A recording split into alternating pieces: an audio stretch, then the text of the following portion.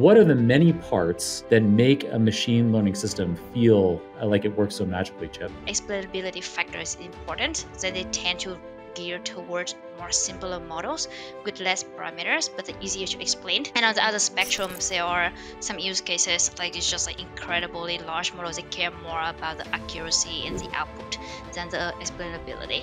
So um, so it really depends on your use cases. Like how much magic do you want? I feel like if you build an application it should be production ready by default. And the reason it's necessary nowadays still is because a lot of people still not think about productions when they build machine learning models. Chip, welcome to the Super Data Science Podcast. It's awesome to have you here. When I posted last week that you were going to be a guest on the show and to ask the audience if they had any questions for you, it was my most viewed post of all time. It had over 100,000 impressions in 24 hours. So I'm excited about this episode. I know our audience is excited about this episode. Chip, welcome to the show. Where in the world are you calling in from? Yeah, I'm so excited. Maybe you should have me on the show more often then. Um, yeah, I'm calling from San Francisco. Um, yeah, so I'm from Vietnam, maybe living here for a while. Nice. Are you in New York, right? I am in New York. Thank you for asking. Yeah, not you know, it's not very often that the guests are asking me questions, but I was warned. You did warn me before we started recording that you might get into teacher mode and start asking me lots of questions. So I appreciate you giving me a softball up front. so you know, it's funny because before I got into tech, I was actually working as a reporter. So for me, really? like I'm very used to asking people questions instead of being asked questions. So if you give me a chance, I would I was just going to ask you a question because you do run a very popular podcast, and I do want to get on the secrets. Nice. Uh, well, does that relate to in doing research for you before bringing you on the show? This isn't something I was planning to talk about on air, but is it from your reporting career that you wrote four books in Vietnamese before you were in data science? So I found out early on is is one of the like writing is one of the thing you could do without having to interact like with the employers right like so actually like my mm. editor didn't find out that i was still in high school so just one time so i was writing for her for a while and um one day we had a conference about like a tech conference and they had like some high profile people from the government to show up and the person who was supposed to take the shorthand note of like some i don't know some higher persons couldn't show up. So my editor was like, "Hey, Chip, can you like come here really quickly? Be here in 30 minutes." I was like, "Yeah, sure." And I show up, and she was like, "Really? Is that you? Your face is so young. I can't possibly put you like next to that person." But uh, so yeah, but but that's how I started, and definitely like it was definitely like a good, how to say, a good trial run for me, so that I could write a book later. Nice, very cool. Yeah, you have a lot of interesting stuff in your background. We're going to dig into a lot of it in this show. Um, so I was introduced to you through Harpreet Sahota, very kind Ooh, of him. He's yeah. great. Yeah. He's wonderful. He was in episode number 457, one of the first episodes when I took over as host of the show. And he is so fashionable. He, he is very fashionable. Colorful. Yeah. Yeah. And his beard is always immaculately trimmed. I know. He looks so good. Uh, he does. And he's got a great voice too. yeah, um, no, he's a good podcast host. And then um, I think we have somebody, well, we're about to have somebody else in commons uh, soon too. So as I was researching for the show, I was reading mm-hmm. the people who had given to- testimonials at the front of your book. And one of those people is Josh Wills. And his name is on my mind because we're also doing research for his episode because that's coming up very soon as well. And so I was wondering, Chip, if you have a message for Josh. Josh is my hero. I wish we could like hang out more. He is such an interesting person. And the thing he says is like it can be just very short but very memorable. Like he has some very famous tweets, uh, just like very interesting ways of like looking at things. Mm-hmm. So Josh um is great and I'm very happy you're getting him on the show. Yeah, his tweets are epic and he seems like a very funny person. I can't wait to get him on. And very kind be... as well. Oh, cool. Um, it seems like a lot of people in this industry are kind. I mean, it's maybe it's easy to be kind. As what somebody, somebody was telling me, it's like I would be kind to if I make like a lot of money a year. like, so it's, like it's easy to be kind when you are in a more okay i'm not saying i'm not okay so okay sorry i didn't want to make it sound like i'm dismissing people's kindness i mean it still takes effort to be kind but i do think it's like say if you make like okay, I'm not gonna go into this. no, I understand what you're saying. It it yeah. relieves some of the stresses, and so people mm-hmm. can be kinder. But mm-hmm. uh, interestingly, I mean, this is maybe going to be kind of controversial, mm-hmm. but famously, people working in high finance are, you know, they're famously mean, and like, you know, oh. every kind of oh. right. So that's kind of that's an interesting thing. So I don't think Good that that's counter sample. Yeah. Yeah, it's not the only factor. I think I think a big part of it is that people working in data science, there's a lot of intellectual stimulation. Yeah. Um, and I think the field is so quickly moving, and there are so many people with so many different areas of expertise that you're quickly humbled. And yeah. you kind of you have to be nice to some like to everyone because you know deep down yeah. that you know such a tiny little slice of the whole field and you're going to need a lot of help. And the whole field actually this is another thing that's very different from finance is that in finance, you're trying to keep all of your secrets to yourself. Yeah. Yeah. But in data science, we're publishing open source code. You're yeah. making courses and books about all of your secrets and you're sharing them with the world. Yeah, I do think that open source nature does really help with like collaborations and like bringing people together. So, speaking of giving things to the world, you are the author of the best selling book, Designing Machine Learning Systems, which is based on your lectures for your Stanford course of a very similar name. Not exactly the same name, but pretty close. I couldn't uh, get the same name. yeah, if people Google, could, yeah. Uh, yeah, Stanford, uh, the name of the course was Machine Learning Systems Design when you last offered it in uh, winter 2022. Um, so, uh, the reason why I say giving things away is because O'Reilly, your publisher, has very kindly agreed to give away five digital copies of your book, Designing Machine Learning Systems. And so uh, the, the morning that your episode is published, I will do a post on my personal LinkedIn account announcing the episode. And the first five people who comment that they would like a copy of the book will get a free digital copy of the book. Nice. So, yeah. So um, let's talk about your book. So machine learning engineering has existed as a profession for a few years now. Why did you write this book? Why was now the right time for this book? So um yeah, so so I was just looking it up yesterday. It's like machine learning engineering is like started picking up around. I think I start like Google on Google Trends. Right, you see like if you search for Google machine learning engineer, it would start like you see it start picking out like 2015 as really like start getting momentum like around like mm-hmm. 2017, 2018. And it was about the same time that I started joining like Nvidia. And at first I was just making notes of things that I experienced and learned.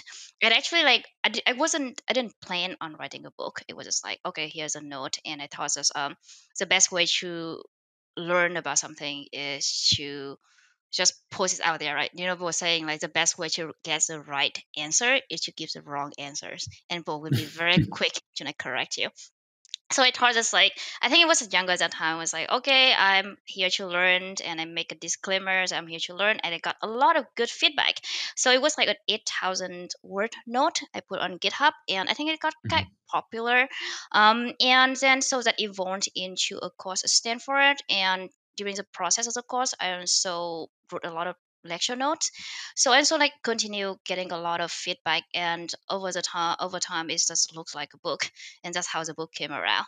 So um there's another rule of thumb that people tell uh, people told me is that like if people ask you the same question three times it's time to write a blog posts right? So over the last years, he says that ever since uh, ever since machine learning engineering has become a thing, um, I kept encountering the same questions and questions uh, over and over again. So I thought like maybe my book can help answer some of those questions.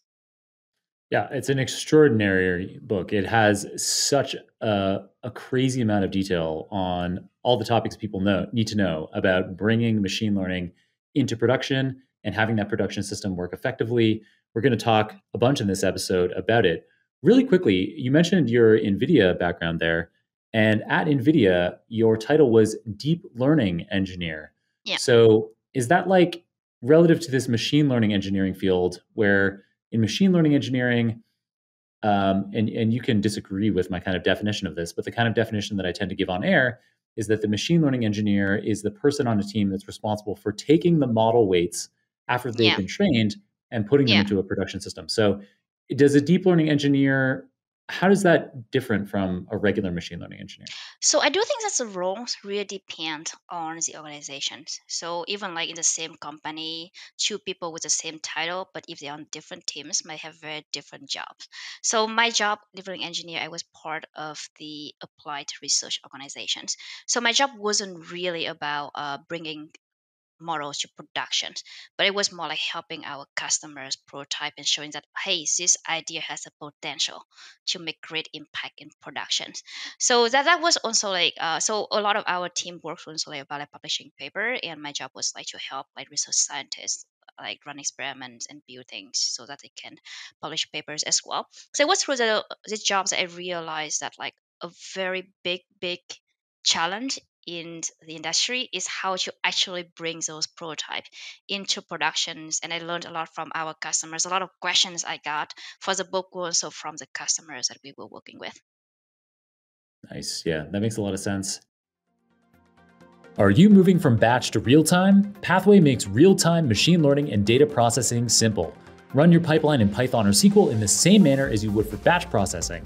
With pathway it will work as is in streaming mode Pathway will handle all of the data updates for you automatically.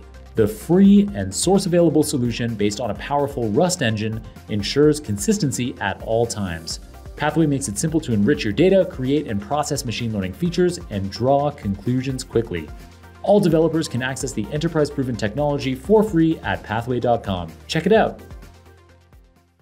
And uh, to to uh, understand a little bit better about how you were able to create a course at Stanford, surely that isn't the kind of opportunity that everybody gets, right? So, you know, you're like, oh yeah, I was doing this machine learning engineering or deep learning engineering, and people were asking me questions. So I was starting to write blog posts and writing things in GitHub. And then I realized I started to have a course. And so Stanford let me make a course. Um, so how did that come about? I guess uh, from reviewing your LinkedIn profile, it looks like you had been an instructor of other courses, maybe that other people had created already at Stanford. So you kind of built up this re- reputation as an instructor. So I do think that um, a lot of things is just I feel like so my friends uh, I we talk um, so my friends I used to say used to say that everyone who ends up in Silicon Valley has have have had a lot of luck and I think that's true for uh, for me as well. So of course, like, it's not quite easy to like start a course at Stanford, but it's a lot easier if you already went to Stanford and knew the processes there, right? right. So um, I think like for me, it started as um, so when I joined doing um, studying computer science, I started out as a section leader, which is more like of a teaching assistant role for a uh, for an introductory CS course at Stanford. So I got to know like teaching. I thought I really enjoyed it. Um, and then after that, Stanford has this very interesting concept that I actually knew from my friends. It's called a student initiated course so like as a student you can initiate a course for uh, and, and teach it if you get approval from the curriculum committee. So um, so at first, my first student initiated course was a TensorFlow course because um, for my sophomore summer, I was interning as a machine learning engineer intern, and I got to know TensorFlow. I think TensorFlow was uh, came out in like November 2015. So by 2016, there was not a lot of materials about it. So I I, re- I thought it was really really useful um, to, as a tool. So I wanted to learn more about it. So I came back to to my school and was like, asked some my professors like, "Hey, can you teach a course on it?" And my professors were like, "I don't have time. Like, why don't you teach a course on it?" So they did help me like get the course on TensorFlow started. So that's how I learned uh, about so the process had, of starter course. You created yeah. a TensorFlow course before your designing machine learning systems course. Yeah, I think I did that when I was in college. Wow, when you were an undergrad. Yeah, I think it was a it was a pretty steep learning curve because I was realizing I was at some point I feel like I was doing three jobs because I was doing my degree and then I was like being a teaching assistant for another mm-hmm. course and then teaching my mm-hmm. own course. So oh it was quite it was quite a little bit juggling, but I feel like I learned a lot. I would say that's the biggest thing I learned that I like is really deep cut in my flesh. Is this like tools get outdated very quickly. So remember I built my course on TensorFlow, right? It was a TensorFlow 1.0, and mm-hmm, at the time nobody mm-hmm. could 1.0, right? Mm-hmm. But then they changed to 2.0, mm-hmm. and I realized it's like if I want to teach the course again, I would have to like redo like 80% Mhm. of my Oh, yeah. tutorials. And it was just like, okay, tools just go in and out of fashion very quickly. Like, so I Mhm. chose not to focus on tools for my next course, but focus more on the fundamentals. And it's the same thing for for my book and i do get a lot of comments like if like from people like saying that oh there's not a lot of code snippets in the in the book so yes they are not like it's not a tutorial book so it's not to teach you like how to use good flow how to use whatever tools is in fashion nowadays uh, but it's more like asking a lot of questions to help you pick the right tools Mhm. Yeah, I think that the the topic that you picked, this machine learning systems design, this is evergreen. Um, i hope so i mean it's not just like what is evergreen in the world is changing so fast nowadays I don't know. I think so. It's these kinds of principles that you cover in the book. Um, I don't think they're going to go away anytime soon. And I can really empathize with what you went through because I similarly I got started in content creation by Yeah. creating a course about TensorFlow one, uh, and then had to redo it all for TensorFlow two. I did redo it all, um, and uh, and I, I I'm really happy to have had that experience yeah. but that is also why my second big content area is about the mathematical foundations of machine learning because i'm pretty confident that things like linear algebra calculus probability theory that's not going to go away from machine learning. So yeah. um, yeah. I do think that those are like good skills to acquire as well. I do think there's something like, for example, um, probability uh, statistics. I think that Mhm. everyone should know more about it, regardless of whether you're doing machine learning or not, because like having a good understanding of probability does help a lot in choosing careers. For example, like some careers like returns uh, follow more of the normal distribution. So if you become like a teacher or software engineer, you might not like become super rich, but you want to become like super poor, right? But like some careers like writing, like being artist, follow more of the long tail distribution. So like only a few people will actually make it. So having a good understanding of that also very helps. Uh, also helps a lot. Um, or like um, I think I wrote a, a post uh, on like how to apply statistics into life. Another is like how to the view on luck. So uh, it does taught me a lot like how to be humble because uh, so like one example right like you have a lot of um, if you deal if you deal a thousand people two cards right so this there's a, just by random chance some of them will end up with two aces right so like you don't have to do anything it's a pure chance so we do Right. see a lot of people just like succeed just by pure chance. Like some, like Mhm. for example, like a lot of people have ideas about social media, social network, but some of them will emerge to be like successful. Uh, and you, and everything is like I'm not gonna dismiss like the success of other people, but I do say there's a big component of luck in it. Yeah, for sure. Um, but as you say, you can make decisions that um, that take advantage of those probabilities. So, for example, you were talking about how um, a career like being a software engineer, the Yeah. compensation is kind of like a normal distribution, whereas Yeah. something like being a writer or a content creator, there's a very long tail on the, on the distribution.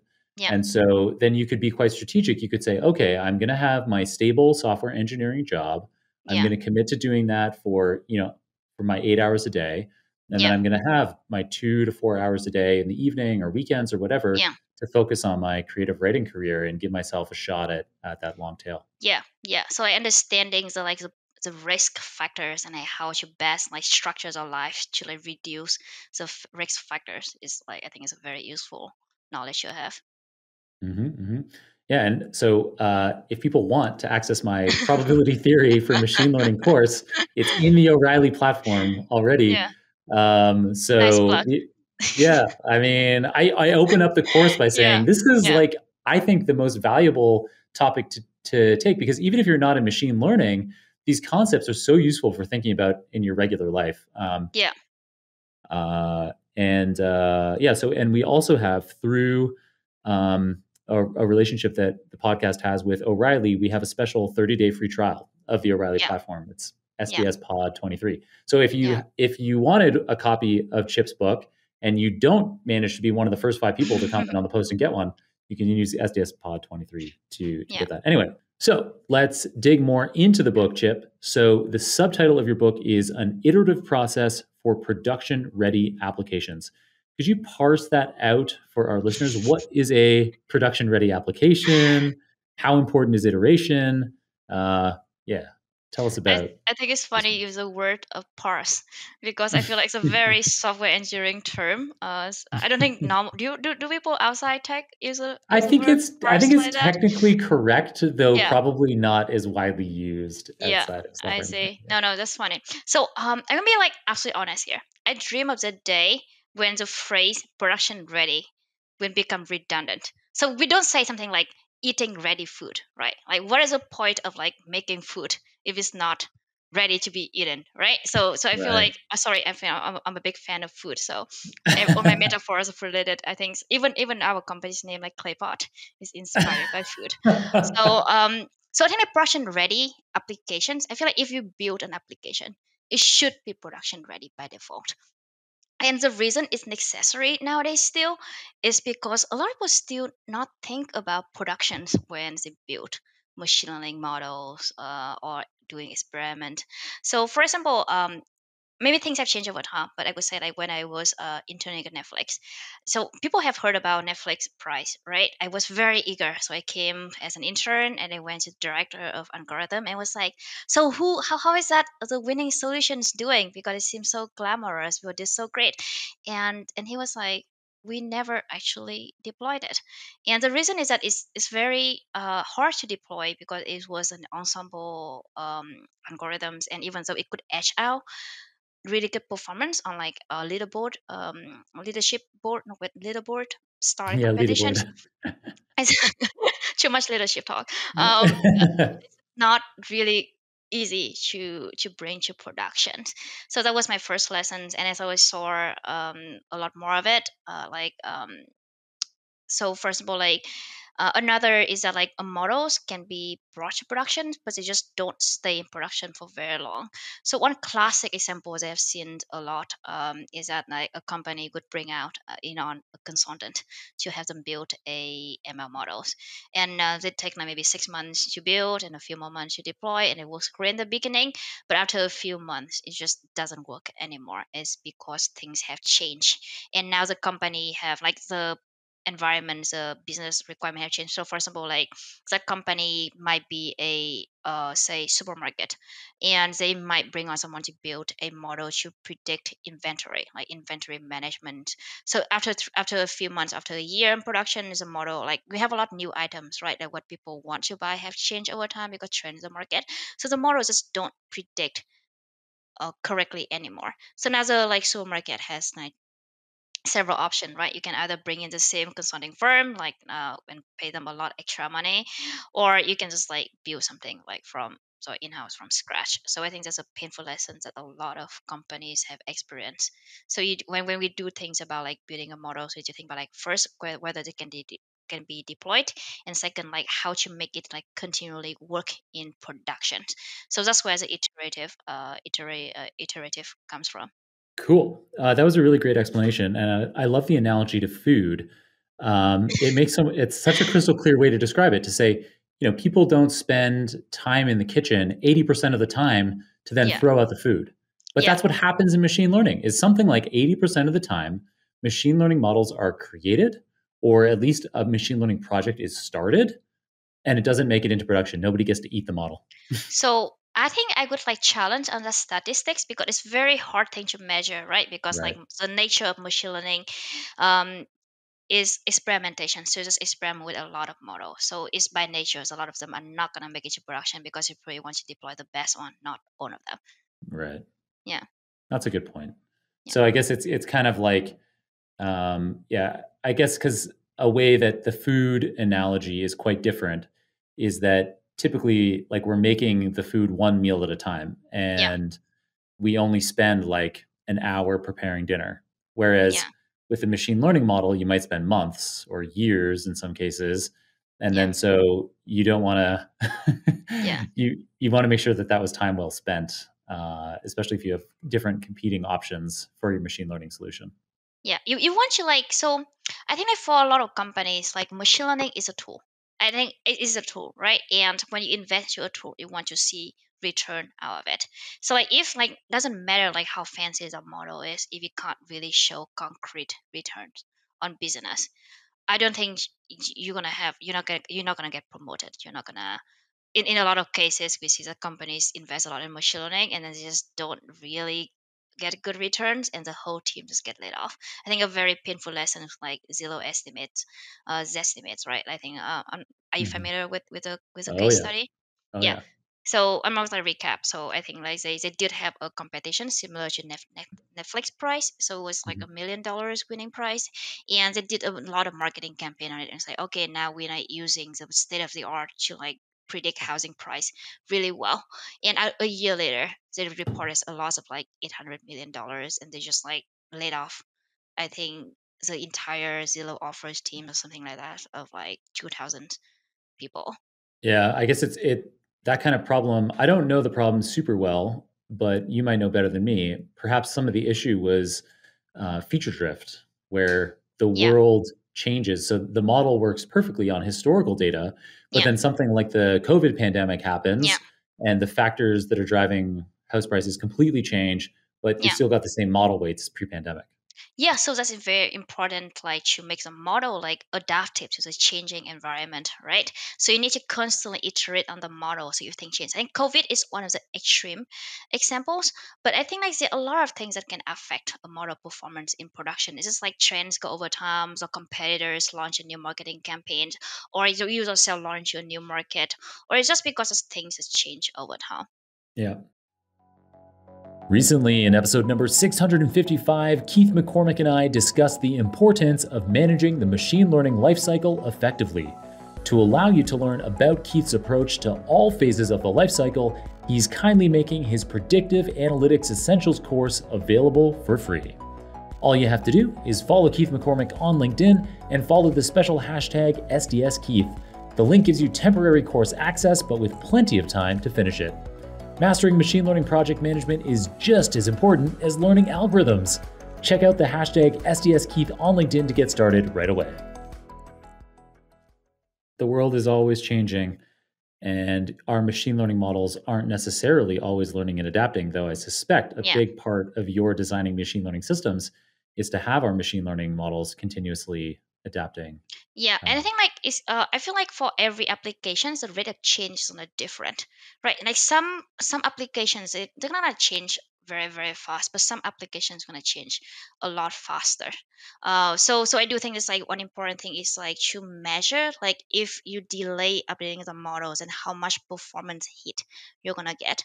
So say like uh Facebook early days like in in the maybe like ten years ago internet didn't move quite fast, right? So they did run some experiments and they found out that for their model as click-through predictions, uh, if they had something like a um, delay model update by like a week, it caused some significant performance hit compared to like updating the model every day. So they chose to move update to every day. But like it was 10 years ago. But nowadays the world moves even faster. So we've seen some experiments people was found out that's like so LinkedIn, they found out that like the model, the features uh, staleness just go from like an hour compared to a minute would reduce their performance by three point something percent for their recommender system. So so I think like the rate of change very depends on applications, um, very depends on where you are, what industry you're in. Yeah, it's it's wild. I think we anticipate, you know, if you do a Google search right now or maybe a LinkedIn search, you Yeah, expect some current news to be reflected in that search right away. So, yeah, like there's some major news event happening and you're like, "Oh my goodness, I want to learn all about this." And so I think yeah, people don't appreciate how complex it is and the amount of compute that has to be going into constantly uh, scouring the internet and looking for updates so that your Google search update reflects current news. yeah, It's crazy. Yeah, so these kinds of machine learning systems feeling like they work magically, um, obviously they aren't magic. It's just machine learning engineering happening under the hoods, uh, under the hoods of these different yeah, platforms. So, um, what are the many parts that make a machine learning system feel uh, like it works so magically, Chip?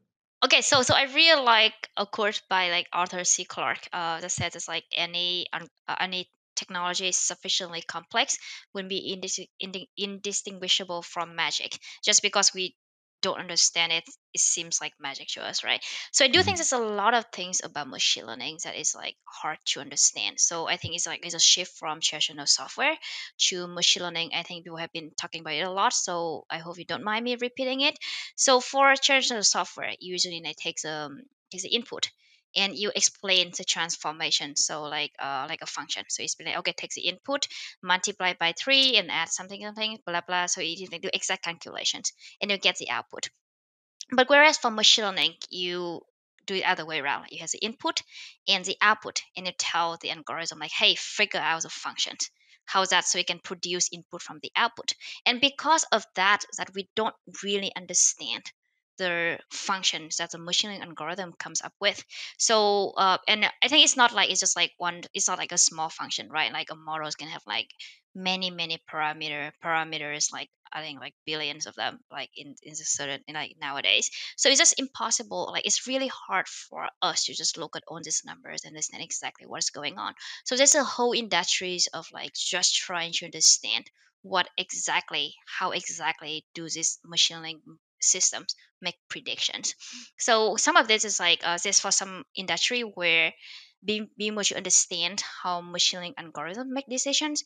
Um, so where where where the explainability factor is important, then they tend to gear towards more simpler models with less parameters, but the easy easier to explain and on the other spectrums there are some use cases um, like it's just like incredibly large models that care more about the accuracy and the output than the ex- explainability so um so it really depends on your use cases like how much magic do you want to like to Right. appear yeah Yeah, this is this is often a trade-off today, right? Where we could say, okay, let's go with the regression model that has maybe slightly less accuracy, but we understand exactly how each weight yeah contributes to the outcome of the model.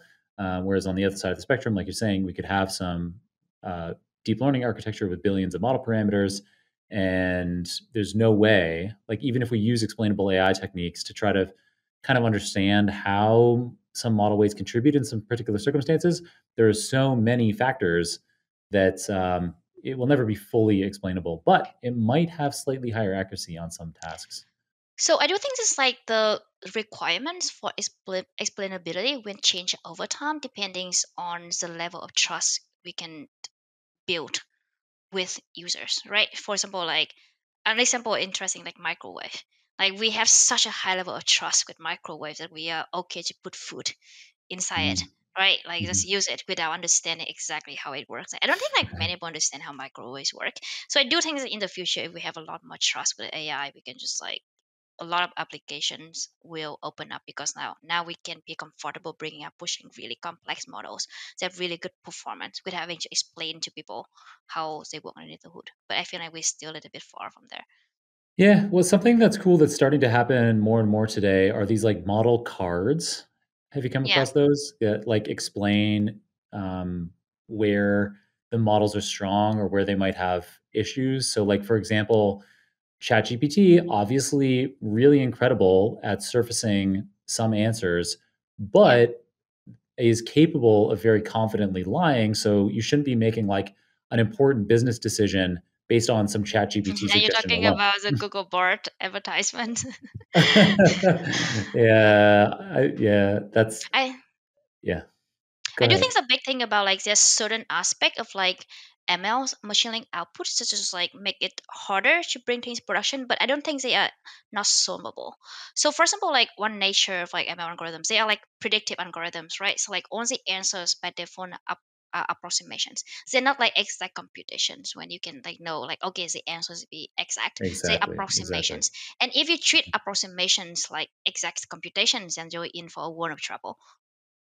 exactly. And that's like, so people, people at my own company, uh, Yeah. not on my data science team, but more business-minded people, they're like, "How long is it going to be, Jon, before we can just have GPT-3 API in our platform or ChatGPT API when it comes out in the platform, and we don't have to worry about accuracy?" And I'm like, I'm like, that I don't know. It's going to be a really Yeah. long time because every single token, every single word that it's outputting to you, it's doing that probabilistically. Yeah. Like, there's I think like people have come up with designs like UX design to make it work. So for example, like um one thing is just like because approximate, so you can have a lot of them and let user choose the best. So like instead of like entirely automation, it's more like augmentation. So like you give people so like for example, like instead of like showing the direct response from the model to users, right? You can show users like three different options and they can choose the best one. Or they can just like um or they can like edit on top of that. So maybe it's hard for you to like write the entire email or like, entire response from scratch, but like, you can just change a little. It can speed up productivity a lot. Or we have seen like quite some like interesting, for example, like um we have known that like GPT can also generate code, right? So like we uh, so one one of my friend has this um startup, so they can let uh, business owners, small business owners, build their own website without knowing how to write code. By you just like describe the website, choose it as an input, and as output the code and a lot of times the code doesn't work like perfectly right? But but like they could show like users like 20 different options for what the code would like look would, would, would, would like render into a real website. And they choose a best website and then you can iterate on top of that. So like hey generate more just similar. So i think that could be a very interesting way of like uh, how to interact with things like um, approximate ml results. For sure. Yeah i think augmentation is the key there is to be using these kinds of models for augmenting your creativity in yeah. particular tasks as opposed to trying to have a definite answer on something. Yeah. Um, so um, related to uh, content from your book, so we were we've been talking for a while now about this kind of this magic thing. Yeah, yeah. But, um, another great uh, topic area that you cover in your book that I'd love you to tell our audience about is how do you align business intent context and metrics with a machine learning project? Yeah, so it's pretty funny. Um, so so we talk about like doesn't matter how fancy some machine learning models are if they don't solve business problems then they're not gonna right. be used right? right? so i do think that's like um so so one thing is like i keep telling my students is that like focus on the problems and not the techniques right so technique is just a tool to solve the problems and like be more like solutions oriented than like technology oriented so so like for example um one one actual problem we run into is that like so a company has this problem of like they want to increase the conversion rate from like uh visitor to like register account right? So like uh somebody new visits to the website and they want that visitor to sign up to create an account right? So so like what would be the first thing you do? Is not like the first thing you do shouldn't like hey i heard this magical fancy machine learning model to solve this problem and let's just use it. So the first thing you should do is that you understand like why people are not signing up and then try to come up with solution for that. A lot of times the solutions don't need to be machine learning so for us we identified three different challenges like why didn't happen. So the first one is just like we saw that somehow the conversion rate was very low for people with smaller screens. And then we check it out and we realized we didn't do enough testing on the UI side and for the smaller screen, the sign up button was like half hidden and it was pretty hard for what to click on. So it was not even like a machine learning problem at all. Like we very easy fix and it have us like increase the ton of my business metric. And another is that like we saw that a lot of people like started the process but did not complete and the reason is that like the process is pretty long. So like we need to like do some so it's more it's not an ui challenge it's more ux uh, challenge. So we need to reduce the process. And now we have the trade-off right? Because like we want to get more information from users to make them like better give them better services uh, but at the same time we can make it too long. People are also going to drop out right? Or, or if we make it too easy another problem can arise is that like will be a lot of bots. So because you want the process to be like, hey, you want to make sure that you're real users. Um, but then like if people can just sign up without any like needing the phone verification or whatsoever, there might be bot. And we see that challenge a lot. For example, one of the companies that I work with, they give out like promotion for signing up. So if you sign up, you can like, claim certain discount. So if everyone can just sign up without significant, without like sufficient verifications, then you can do like promotion abuse, and it could cause them like I think like million, like tens of millions of dollars a year. So which is like clearly a trade-off, right? Now you want increase the sign up, but at the same time you don't want to like bleed money. So but like only the last solutions that is like that is really machine learning, that is just like, oh, it's because people don't find relevant content to them. So they just leave without signing up.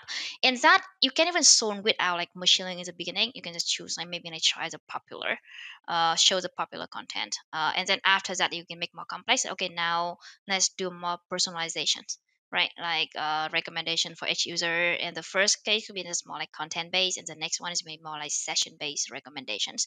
So so there are like very many different ways to solve a business challenge. And I don't think people should just bring out the big gun when they are like, oh, I don't know, cheese knife can solve. Mm, right, right, right, right, right. yeah. Cool. So that helps us understand how important it is for our business to be aligned with a particular machine learning problem. Yeah. Um, I a related question uh, eh, is from your book. So your book devotes a chapter to training data and yeah. some important subtopics like sampling, labeling, class imbalance, and data augmentation. So, um, yeah, what are some of the lessons that you've learned about training data in a business context? Training data is everything. So it's it's really um, it's really interesting um, that you ask these questions non-prompted at all. So so okay, so I think I, I love this story, so I want to tell this. So do you remember the Alex Net paper in 2012? Oh, of course, I talk about it all the time. Yes. So there is like it's a very influential papers, right? If you look at like the most influential papers in the last 10 years, in the last decade, I think AlexNet is very high up. So there's one line in that paper is like everyone pretty much just ignore. And that line is just like it's something that also like like all our experiments showed that we should just wait for more compute and more data to make better progress. Right. So like the two things I mentioned, like compute and data. And I think that that's something that's like pretty much set the tone, the the the tone for the next decade. You see, like now a lot of progress we saw as like just more compute and more data. And the funny thing is, is like the second author of AlexNet paper. Do you know who who that person is? Uh, well, so Alex Krizhevsky is the first, and then the second is Ilya Sutskever, right? Yes. Do you know who Ilya is? Um, I mean, not like personally. um, I know that he went to work at OpenAI afterward. Yes. He is a co-founder of OpenAI. So I feel like if you look back, like it's just pretty much like laid out from like 10 years ago. I feel like a lot of people think of like, oh wow, ChatGPT is such a shock to everyone. But I do think there's like a lot of people saw it coming, right? Yes, more compute, more data. And for a long time, um, I think I just want to point out like um, OpenAI did not get a papers published because for a while the research committee was like, oh, scaling up models, throwing more compute and more data, uh, or it's like interest. Like yes, of course, it bring out good result, but it's not enough novelty. Like it's like not sufficient um, interesting new techniques for them to be like published. And a lot of time people argue this like people. I think as humans, we like to think that progress comes from intelligent human design right? We don't want to think it's like, oh, just like brute force solutions are going to be the the best way forward. And I think Richard um, Sutton has a very interesting paper, uh, like a blog post, very short one. Like a bitter lessons. It's, it looks like you know what I'm talking about. Uh, like, you like I, I don't know the blog post. I know Richard Sutton. Yeah. Again, not personally. well, you might. You, maybe you should bring him on the podcast. I would love to. amazing. Yeah, yeah. I agree. So uh, so the bitter lesson is that um, so there are two approach, right? Like for uh, he noticed over the last 70 years of um, of AI research, a lot of progress has came from like more compute and more data, and uh, and the other approach is just like intelligent intelligent human design. And of course, it's like you can in theory you can pursue both, but like time spent on one one approach is gonna take away your time from another. And so a lot of people who believed in like human intelligent design when learn the bitter lesson It's just they're not gonna they're not gonna be able to make as much progress as the people who just chose the other approach and went on in. Yeah, and that's yeah. actually that's something that, that we have seen a huge amount in recent years. Yeah. Like something like, okay, the transformer architecture is a novel yeah. way of setting up your deep learning architecture. Okay. Yeah. But then this idea of just scaling it up, you know, adding orders of magnitude more model parameters, yes, this yeah. is not very intelligent. Human yeah. intelligence is just brute force, but it works unbelievably well. And GPT-3 then has all of these emergent capabilities that we were surprised by, and I'm sure GPT-4 is going to have even more. Yeah. Um, and a similar kind of thing happened. Uh, my PhD was in genomics, so yeah. applying machine learning to genetic data And Yeah. it was the same kind of idea. It was like, let's get orders of magnitude more subject participants and get their Yeah. genetic information. And that approach alone, that brute force alone, will uh, yield more interesting genes for a particular trait. like to be clear like to be fair like brute forcing is not easy like it's incredible engineering challenge It's a like big engineering problem. Yeah. coordination challenge and it's very Yeah. hard it's just like people think like oh it's more of the engineering challenge not a research challenge but also like when you start operating at like a scale unprecedented before a lot of new problems arise that you actually need novel techniques to be able to overcome them so i do think it's like it's um it's, it's very hard it's not easy at all so i do um so i was uh I, i'm just reading this book this morning before our call it's a book on a chip war and i saw like very similar like uh, a lot of similarity about They're like fighting over you? the- huh They're fighting over you? well i'm not sure who is fighting over me that would be fun um but it's about like how like a lot of progress in integrated circuit is just like it's a lot of it is just engineering challenge like you need to like pack in a lot of transistors on the same board and it's incredibly hard Yeah. Uh, I think with these kinds of models, like um, I'm probably going to mispronounce this, but um, one of the biggest NLP models around today is Wudao 2.0, which is Chinese. Hmm. Um, and GPT-4, I think, is going to be one of the biggest when it comes out. Even Yeah. just the number of chips that are required for training these models, just acquiring that many Yeah. chips is crazy. Well they are taking away all the chips that the crypto miners give up on so yeah, this is a good thing. It's a good thing. Bitcoin prices down is good for being able to train AI models relatively more affordably.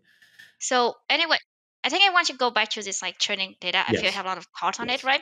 So so I Yes. do believe in it a lot. So I feel like so it's really funny because when I when I graduated, I thought it's like okay, hardware is a is a way to go. So I joined Nvidia, and then after that, I was like, okay, now we need next component is like training data, and then that's when I was uh, joined Snorkel, which is like a way to like weak supervision to like push you like augment, like to create more training data.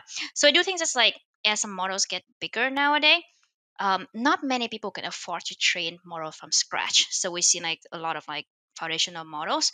So I do think that what it actually is a competitive advantage of companies could be like training data, like how to get data that only they can get their hands on, um, and and that is like um, that is that is big. Yeah, for sure. Um, so, yeah, so what kinds of, um, with training data being so important, what kinds of data preparation methods or what kinds of techniques could our listeners be employing, um, you know, that are underutilized out there? So I do think that we need to change the way we look at data. So it's very important things. It's like so so when we so AlexNet was trained on uh, ImageNet, right? ImageNet was created by a lot of people labeling images. So on Amazon, you can see the Mechanical Turks. It was listing like what? How much? I think something like two cent. Uh, an, an image label. So so like traditionally like annotations or like dealing with data green training data set is considered like a n- uh, low skill labor. And people like you can if you label a lot of images an hour super fast you probably make around like minimum wage. But but nowadays like if, if you the thing is like you can think of one example of labeling is a teacher teaching your kids like like okay so so, so kids wanna do some homework and the teacher looks at it and said okay is it good bad how to improve it right? So like if you want the kids to be like, really smart you want to send them to like good teachers. And similarly i think like if you want the ai to be like smart you want to have like really smart people to annotate Right. so a lot of like annotation is like easy to do, like image, like whether there's a car in the image or not, right? Um, but but I think a lot of annotation is really hard to do. Like first of all, look at ChatGPT response. Like how do you know that is like a good response, or like how can you make it even better? So so, so you need like so you need like smart people. Like how do you change the perceptions of data annotations so that smart people want to do it? Yeah, this is a this is definitely a big challenge. So, for example, maybe you want to train a radiology data set. You're going to need Yeah. to pay a radiologist uh, to be Yeah. labeling your images as opposed to Mechanical Turk. Yeah. And then it's going to be orders of magnitude more expensive to have those Yeah. experts do it. But if you can pay them to do it, you're going to end up with a really valuable data set. Yeah. So I think like that's that's one main thesis of like Snorkel, and I thought it was very interesting. Is like how so Snorkel like weak supervision is this idea of how to encode domain expertise so that it can be reused. So like a lot of time, for example, like um some domain expertise like a, a doctor can look at a note and say this like, hey, this note contains something like pneumonia or like some dangerous disease. So that should be like promoted to urgent. So so that is some kind you can encode that. So like if you have the doctor say, okay, if the doctor note contains certain keywords, then give it like the weak label or noisy label of being urgent. And like now just not have like one rule, but if you have say a thousand of those like that, and you can resolve the conflicts and looking at the noisy labels each simple rule gives, which can have you generate some pretty accurate truth label. Cool. Yeah. So that's very cool. Tools like Snorkel can be used to encode, encode domain expertise into our training data. Um, we had a guest on not too long ago named Shayan Mohanty, who talked a lot about this. You know him? Or, no, I do not oh, know him. No. Yeah. Now, episode 635, he talked a lot about how, yeah, problems with training data and even how like these mechanical Turk kind of systems are quite exploitative. Yeah. And so we can be using more clever technology like Snorkel, um, yeah. or in his case, Watchful is the name of his company, to mm. be, uh, yeah, creating higher value data um, yeah. without necessarily that that exploitation of people. Yeah, true. Nice. Um, related topic. So once you have your training data, um, some kinds of models, like some deep learning models, we put our data in more or less raw. We don't engineer features out of the data. But yeah. for a lot of kinds of model types and a lot of kinds of problems, engineering features out of our data is critical for our machine learning yeah. model to working well. So you have a chapter devoted to the topic of feature engineering in your book. What's the secret chip of engineering good features? Oof, oof, it's a lot of. Uh, that is like Wow, I felt like how much time do we have? so and I think feature engineering is um is, is pretty hard. So I would say this like first I would look at the type of use cases. So there are certain use cases that where a lot of feature engineering can be automated. So for some use cases like um, that use text or like images. So you can have like most of the data comes from like maybe like a blob of text or a big image. So which you can like input into a model and get out embeddings. So that kind uh, of feature engineering is pretty much automated. So what's the challenge for feature engineering is um, how how to engineer from more tabular data. So for example, for like fraud detections, so you have data coming from different sources. A lot of them are numerical. Um, a lot of them are not really. Of course, they have some text as well. Of course, some people are treating the, the entire transaction as a blob of text, and you can um, just input into a model and get the embedding for that transaction back. Uh, another approach is that you can look at a lot of users' activities and try to use, say, quantum like behavioral activities so to like make predictions. So for example a very simple example is that um say if you as an account holder has been only uh spending uh make very few transactions maybe uh on average like one a day over the last six months and suddenly in the last 10 minutes you were farming you were like doing a hundred transactions. That's very suspicious. So that's that's kind of like measure the numbers of transactions you did in the last 10 minutes is a feature or measuring like what is the average amount of transaction you make every, you made you have made every day over the last six months is a feature so that kind of, of features you usually need to think about and usually require certain domain expertise to be to come up with. And they can blow up really really quickly. So we see pretty commons in the companies we work with. They have like thousands of features and we were talking to a few um, companies where the majority of their cost comes from feature computation. Right. From feature yeah. computation. Yeah. yeah. So like feature engineering, so the, the traditional sense is that like data scientists try to just create as many features as possible because usually having more features will gives Right. a model better performance but at the same Yeah. time when so we, we work in like real-time machine learning uh, space so what it means is that we want to be able to help companies leverage fresh data to make better like more accurate decisions right so for instance on fraud detections um of course you can do like slow predictions for example like somebody steals a card you will observe them for like 30 minutes and then make predictions but like in that 30 minutes that hacker the scammer can cause a lot of damage. So we've seen often cases where people say like they can just reduce the time from second to like milliseconds. They can save them a lot of money. Or another use case account like email email takeover for a business account. Uh, so if somebody get a hold of like uber.com email or like apple.com email they can pretend to be that person and send out like malicious link to the rest of the company and which can cause a lot of damage so like, if you can catch maybe just that person that's logged in and immediately say like wait a second two minutes ago you were logging in from California and now you're logging from like I don't know some like very random islands very far away. Then maybe maybe it's suspicious.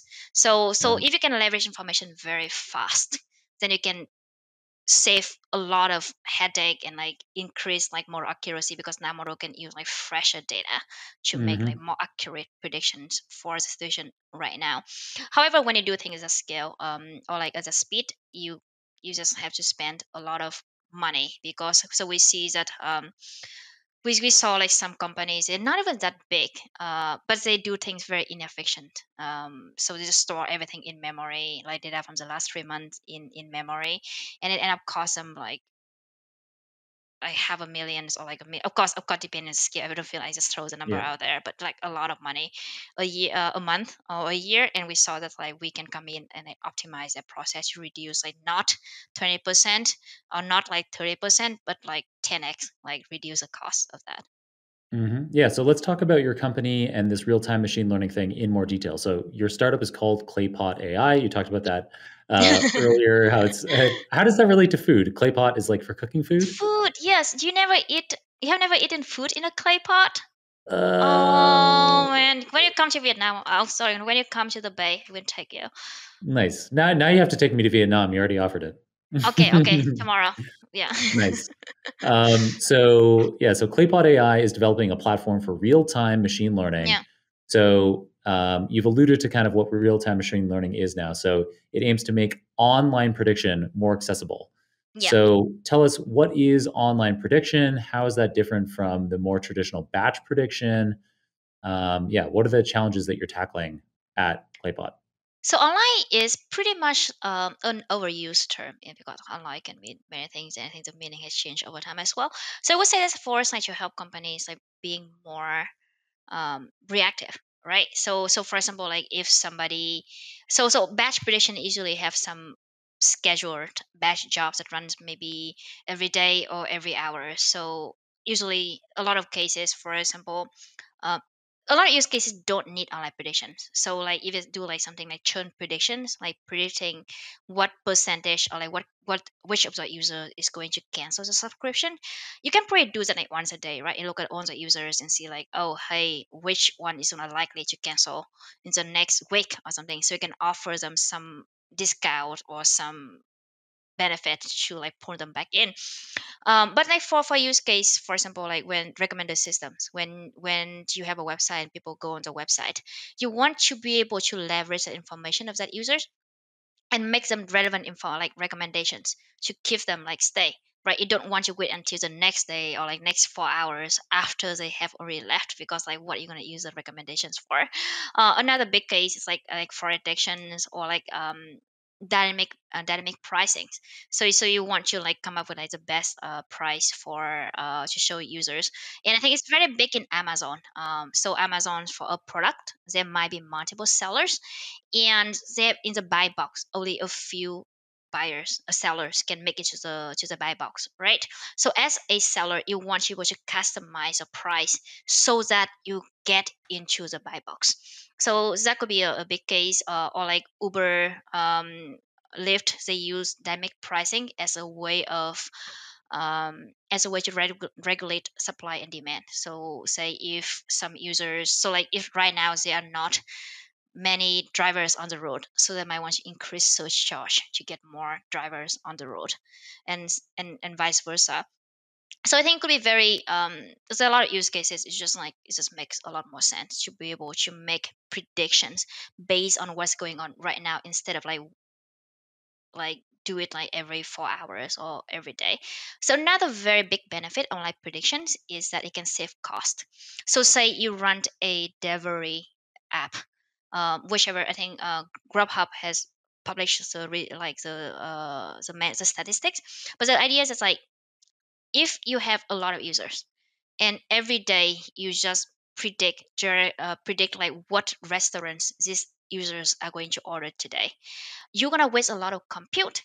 And the reason is that like not all of these users are going to log into the app and order. So say like for grubhub like it's like i think it's like only 2% of the users order a day. So if they generate for like all of the users then 98% of the predictions are gonna be wasted, which is like cost and significant compute and so like delay.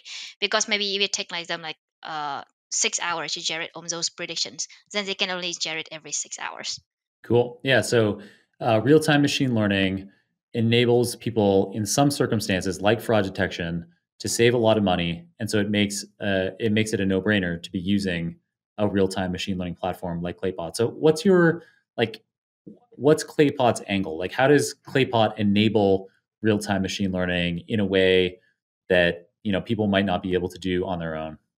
So, so first thing I would go into analysis, like what makes it so hard for companies to do this.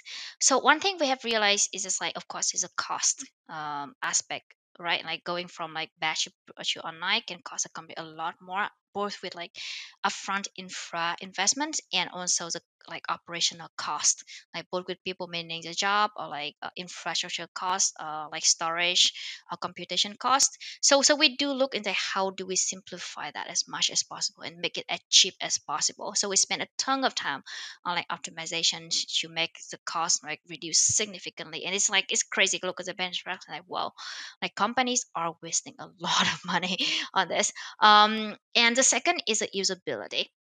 So as a data scientist, um, do you use pandas? Of course.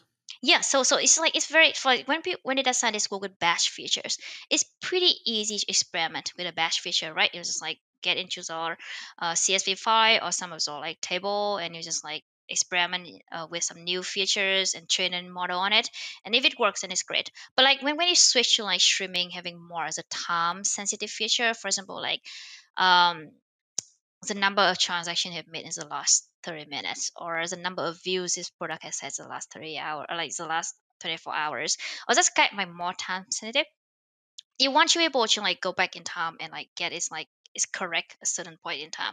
So so say like if you want to make uh, operation happen at 10 30 a.m yesterday you don't want to use a feature that was available as like 10 31 a.m right? Because it's like be like picking into the future.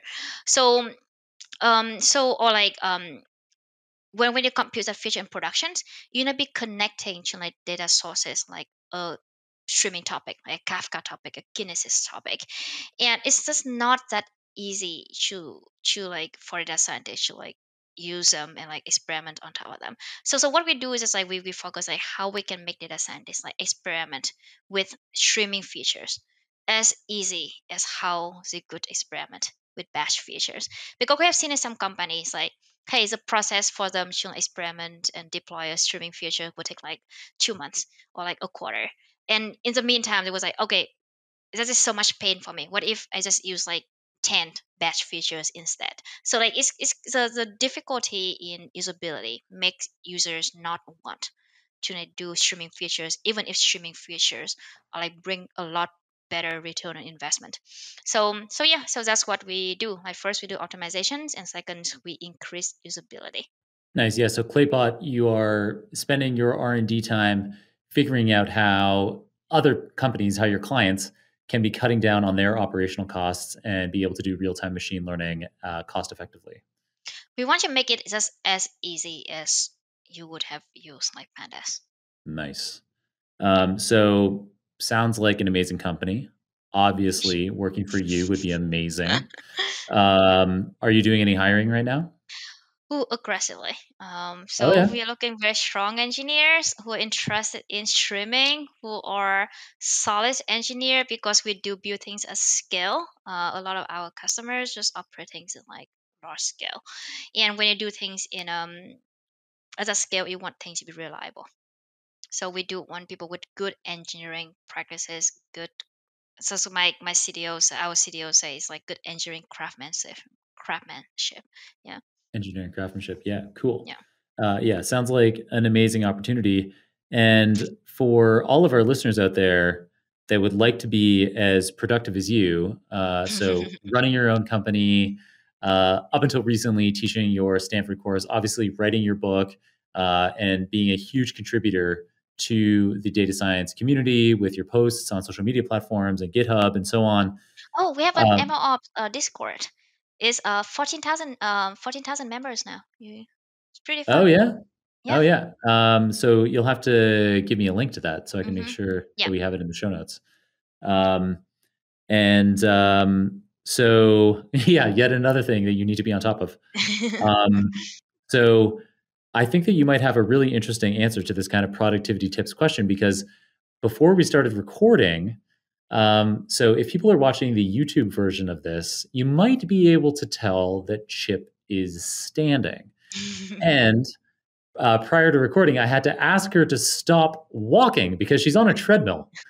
And so I could hear kind of the treadmill noises. As, and so I was like, oh, we're not going to be able to do that when we're recording. Yeah. Um, so uh, clearly, you're getting some uh, cardiovascular work in uh, while you do calls. Um, what other kinds of productivity tips do you have for us, Chip? Um. So I think um. Okay. So I feel like I don't. I don't think I'm that productive because I have so much more admiration for people who both work full time and having kids. I do think that like having kids is just so much time, and I feel That's a like good productivity tip. Don't have kids. okay, okay. I, I feel like uh, um, people might take it the wrong way if I say that. But but um, I do think it's like I feel like I'm able to like be able to focus on work because I don't have a lot of distractions outside of work.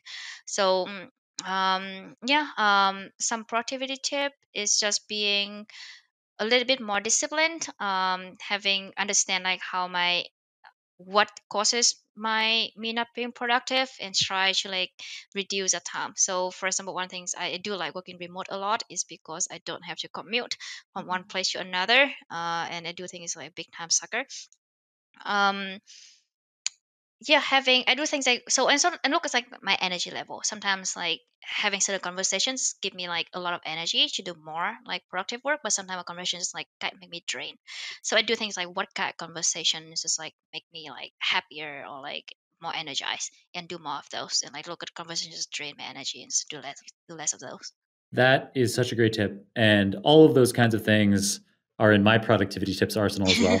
I, I, I, Yeah. I would like to have kids someday, but I'm like, man, that is going to be a productivity hit. wow Um, but it's life is not all about productivity you know I know, so I've read. Um, uh, and um, yeah, avoiding a commute. This one is huge. Um, and yeah, I love this idea. One that I hadn't maybe thought of actively, but engaging more in conversations that leave you feeling energized as Yeah. opposed to draining your energy. I think that that is really key. Nice. So um, I hope that this conversation today uh, has been one of your energizing ones in the day. But I also know that I've eaten up a lot of your precious time today and that you urgently need to get going. So we usually ask for a book recommendation. Maybe you can just throw out the words, the name of the book, but the key piece of information that our listeners need to go on from this episode is how they can be following you after the show. So I do like to read about really smart people about how they think. So I recently actually shared on LinkedIn like a list of books that I've thought I learned a ton from last year. So one of them is actually have it right here, like complex adaptive systems. It's very good system thinking, uh, about system thinking. Uh, for example, like how one example is just how do you set incentives so that like every individual can just focus on like for their own interest, but at the same time can make progress for the whole organizations. And I think it's really, really hard to do. So it's very interesting book just explains that. Um, I do like some other books, uh, like uh, let me see in the bookshelf here.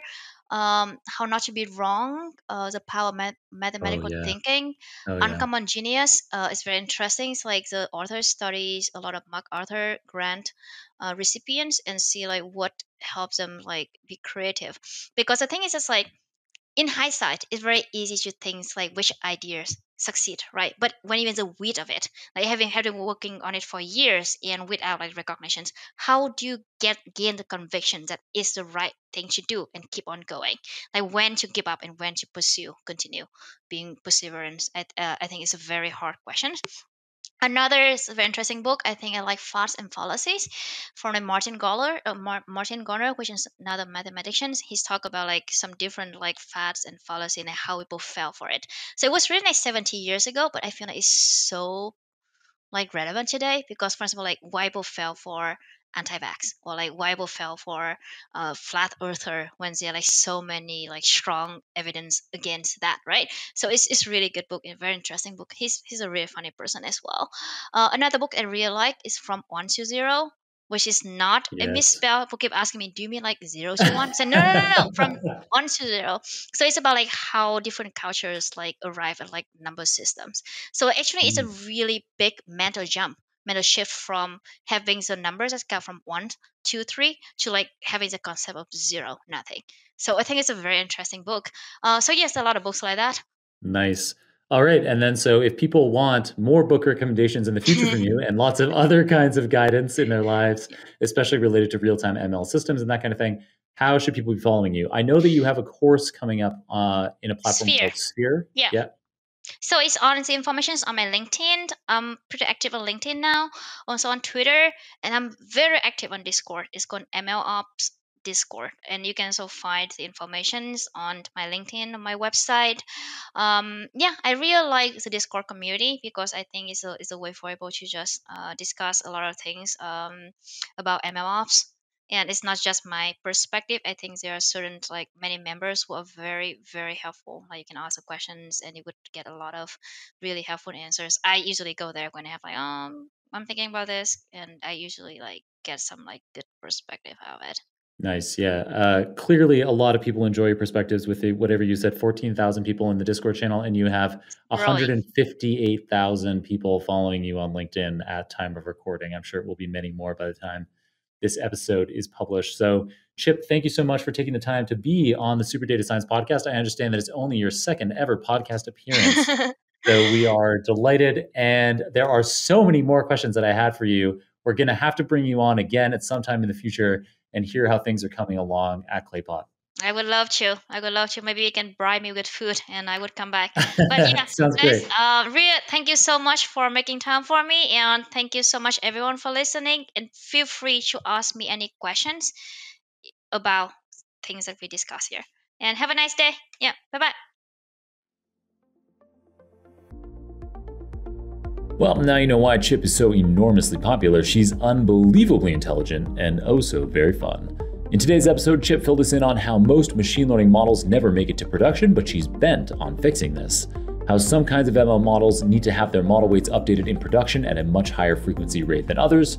How orders of magnitude more parameters have yielded stunning results, like we've experienced recently with ChatGPT, but this corresponds only to overcoming ML engineering challenges as opposed to some data science ingenuity.